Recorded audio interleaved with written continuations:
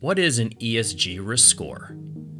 ESG score is an acronym that stands for Environmental, Social, and Governance Score. An ESG risk score gauges a company's performance on ESG issues and exposure to ESG related risks.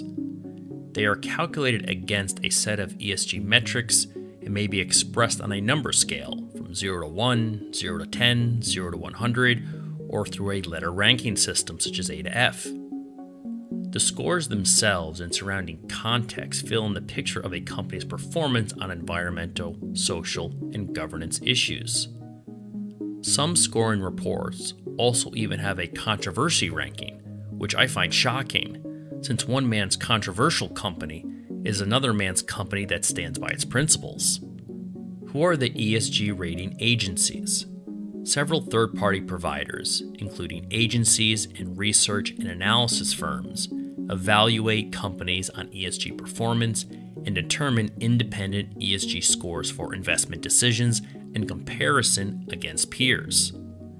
Some agencies include Bloomberg ESG Data Services, Corporate Knights Global 100, Sustainalytics ESG Risk Ratings, Dow Jones Sustainability Index Family, Thomson Reuters ESG Scores, and RepRisk. What is a good ESG risk score? Methodology, scope, and coverage vary significantly among each agency. Bloomberg and Corporate Knights rate companies on a 100 point scale, for example. Thomas Reuters assigns a score of 0 worst to 1 best, with a corresponding letter grade. RepRisk measures companies on a RepRisk index of 0 to 100 and provides a RepRisk rating of AAA to D. How is data used in the score collected? Well, it's one of two ways. It's either self reported or it's from publicly available datasets. Depending on the agency, some exclude self reported data and only rely on publicly available data in order to generate a score. What constitutes the ESG environmental category? Environmental factors range from a company's greenhouse gas emissions to its treatment of animals. Common evaluation criteria include metrics on climate change, soil and water contamination, renewable energy, and environmental policy. What constitutes the ESG social category? Social factors examine a company's business relationships with employees, suppliers, partners, shareholders, and other groups throughout the supply chain. For example, are workers in a factory abroad treated ethically? Do employees earn a living wage? Are facilities regularly inspected and safe to work? Can employees take leave when they are sick or for other personal reasons? Social scores might also reflect charitable contributions, customer interactions, community impact, and policy influence. What constitutes the ESG governance category? Governance criteria evaluate legal and compliance issues in board operations. For example, does the company abide by all local, state, and federal laws? Does company composition represent diverse backgrounds and perspectives? How does executive and non executive compensation compare to the company's peers? Are all scores public? Some ESG ratings and reports are publicly available. The Dow Jones score, for example, releases world and regional indices on top performing companies annually. Other ratings and reports, such as those from Bloomberg and RepRisk, are created for investors about companies they want to invest in. Those who are for the continued proliferation and use of ESG scores say organizations with a good ESG risk score are thought to be better equipped to anticipate future risks and opportunities, more inclined to long term strategic thinking, and to prioritize long term value creation over short term gains. Research increasingly shows that companies that adhere to ESG principles are low risk investments and more resilient over time. For that reason, forward thinking boards stay informed about their company's ESG issues and activities, the various third party organizations evaluating their efforts, and their ESG risk scores. This all sounds very wholesome and enlightened, so what could possibly go wrong? Well, let's look at the other side.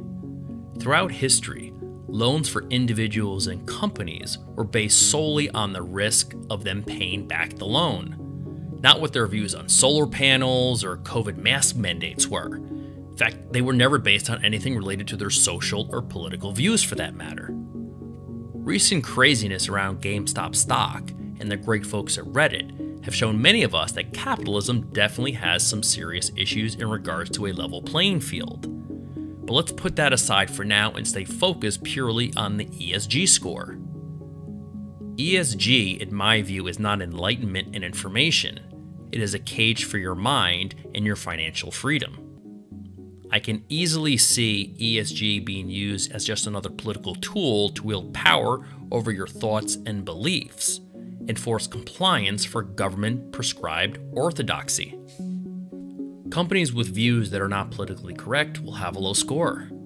Companies produce technology that is not considered progressive, like a gasoline powered car, will have a low score companies that are not charitable to the right organizations at the right moment, depending on the political winds, will have a low score.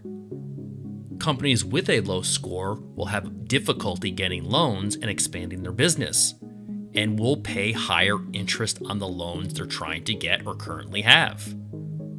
But this score is not just about the score of the companies you invest in. This is the real danger. Consider it guilt by association.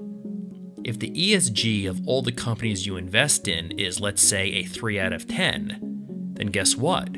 It is very reasonable that the government, investors, or a company that wants to hire you can assume your ESG score would be about a 3 out of 10, assuming that this information becomes public.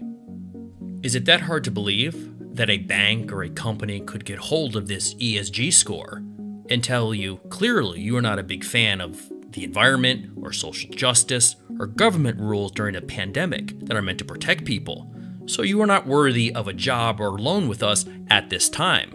However, go to this other ESG repair agency, and once your score is high enough, then we'd love for you to come back to us. Much like happens today when people try to get a loan and are often pointed to a credit repair agency in order to raise their credit score. Same idea. This is the real danger with this is it could definitely be used and abused for the wrong reasons.